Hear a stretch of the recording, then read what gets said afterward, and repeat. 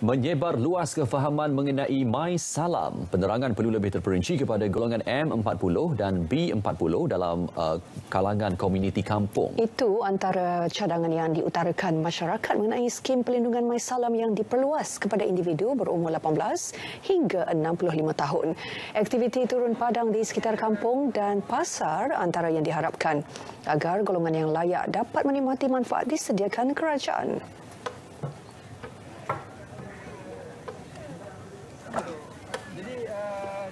Dan ni sepatutnya kena masuk uh, kawasan kampung-kampung lah. Mungkin orang kampung tak tahu. Uh, macam uh, orang-orang muda macam dia belajar lebih sikit. Sama pula dia celik IT apa semua ke memang dia faham.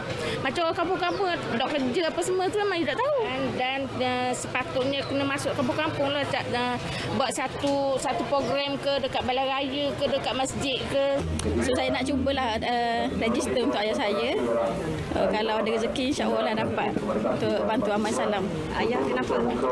Eh, saya sakit saraf uh, lama dah. Tapi dok pernah pun apa pernah masuk wad tapi dok lama lah. Uh, sebab sekarang ni pun dia sakit lagi dia tak boleh buat kerja tapi uh, okey lah. Boleh boleh jalan slow-slow pakai tongkat apa semua lah. Uh, kalau dah dapat uh, bantuan masalah ni mungkin boleh meringankan lah, uh, beban kita orang. Cari ubat untuk ayah lah. Uh. Skim My Salam merupakan pelindungan takaful percuma di bawah Belanjawan 2020.